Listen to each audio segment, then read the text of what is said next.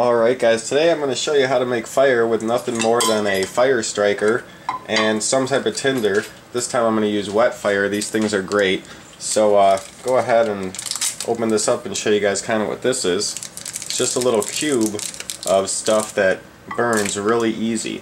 So I'm going to go ahead and just take a knife and kind of get shavings off. As you can see it shaves really darn easy actually.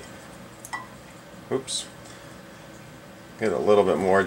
Then I'm going to just create a little pile. Really shaves off easy though. This stuff is really easy to use.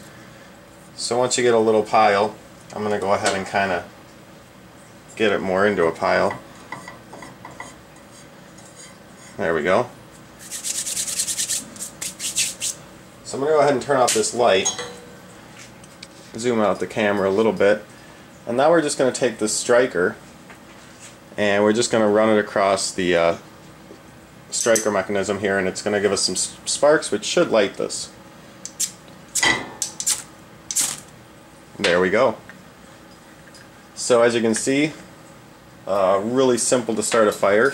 I would really re recommend this stuff called uh, WetFire.